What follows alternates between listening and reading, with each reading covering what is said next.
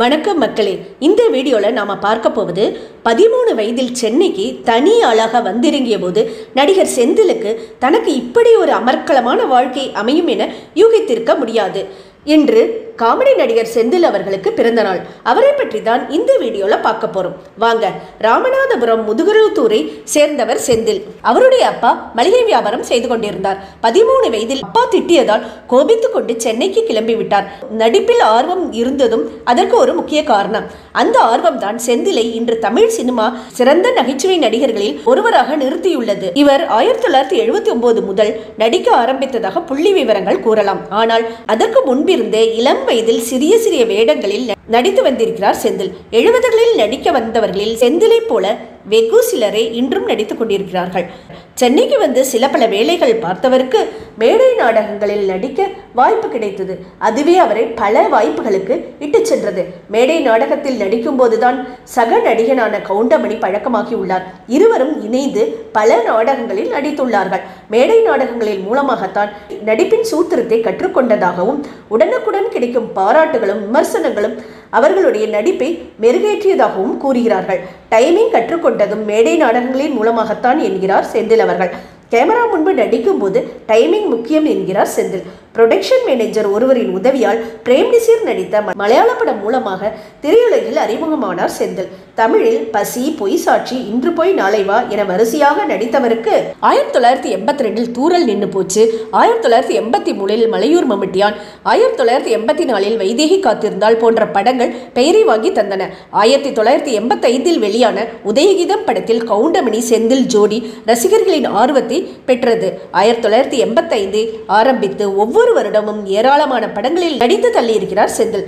தொண்ணூறுகளின் மத்தியில் விவேக் வடிவேலு ஆகிய இருவரும் முன்னுக்கு வரும் வரை செந்தில் நடிக்காத படங்களே இல்லை என்னும் அளவிற்கு அத்தனை படங்கள். ஆயிரத்தி தொள்ளாயிரத்தி தொண்ணூத்தைந்துக்கு பிறகு செந்தில் நடித்த படங்களின் எண்ணிக்கை மெல்ல மெல்ல குறைந்துள்ளது. இன்று வரை இத்தனை படங்களில் நடித்துள்ளேன் என்று எண்ணிக்கையை சொல்ல முடியாத அளவுக்கு ஆயிரத்தி முன்னூறுக்கும் அதிகமான படங்களில் நடித்துள்ளார். தமிழில் மட்டுமல்ல மலையாளம் தெலுங்கு கன்னடம் ஆங்கிலம் ஹிந்தி படங்களிலும் நடித்துள்ளார் செந்தில். செந்தில் நடித்து ஒரு வருடம் எண்பது படங்கள் வெளியாகியுள்ளன. இது போல ஒரு பெருமை இன்றைய நகைச்சுவை நடிகர்களுக்கு கிடைக்குமா? ஒரே சமயத்தில் நாற்பத்தஞ்சு படங்களில் நடித்ததெல்லாம் உண்டு என்கிறார் செந்தில். ஆயிரத்தி முந்நூறு படங்களில் நடித்தவருக்கு பிடித்த படம் எது தெரியுமா? ராமநாராயணன் சாத்தான் சொல்லி தட்டாதையில் நடித்த கதாபாத்திரம்தான் அவருக்கு மிகவும் பிடிக்குமாம். அந்த நகைச்சுவை காட்சிகள் தான் நடித்ததில் மிகவும் பிடித்த காட்சி என்கிறார். அந்த படத்தில் நடிகர் செந்தில் பூதமாக நடித்துள்ளார். என் எஸ் கிருஷ்ணன் தங்கவேலுவின் நகைச்சுவை காட்சிகள் தான் தன்னுடைய நடிப்புக்கு ஊக்கமாக இருந்தது என்கிறார். தான் நடித்த படங்களில் நகைச்சுவை பகுதிகளை எழுதிய வீரப்பனை தன்னுடைய வெற்றிக்கான முக்கிய காரணமாக கருதுகிறார் செந்தில்.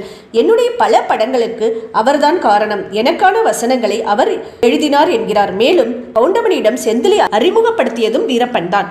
கரகாட்டக்காரனின் வாழைப்பழ காமெடியையும் அவர்தான் எழுதினார். இன்று வரை அந்த காமெடி மக்கள் மனதில் நிலைத்து நிற்கிறது. செந்திலும் கவுண்டமணியும் இணைந்து நடித்த நூறாவது படமும் அதுவே. கொடைக்கானலில் நடந்த ஒரு படப்பிடிப்பில் தவறி விழுந்து முதுகெலும்பில் அடிபட்டதற்காக சில வருடங்கள் படங்களில் நடிக்காமல் நிறுத்தியிருந்தார். ஆறு வருடங்கள் இடைவெளிக்கு பிறகு தானா சேர்ந்த கூட்டம் படத்தில் நடித்தார் செந்தில். கடந்த வருடம் ராசாத்தி என்கிற டிவி தொடரின் மூலமாக சின்னத்திரையிலும் அறிமுகமானார். செந்திலின் மூத்த மகன் மணிகண்டன் மருத்துவராக உள்ளார். இரண்டாவது மகன் ஹேமச்சந்திர பிரபு திரைத்துறையில் இயக்குனராக உள்ளார். இருவருக்கும் திருமணமாகிவிட்டது. அனைவரும் கூட்டு குடும்பமாக உள்ளார்கள்.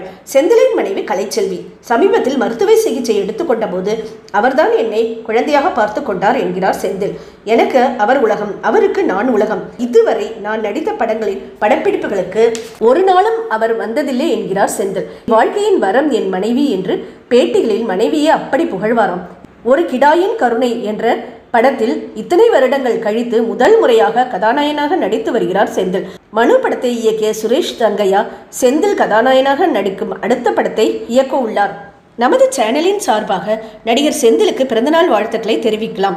பிறந்தநாள் வாழ்த்துக்கள் செந்தில் அவர்களே நீங்கள் மேலும் மேலும் நிறைய படங்களில் நடித்து எங்களை எல்லாம் சிரிக்க வைத்துக் கொண்டே இருக்குமாறு எங்கள் சேனலின் சார்பாக உங்களுக்கு நாங்கள் வாழ்த்தை தெரிவிக்கிறோம்.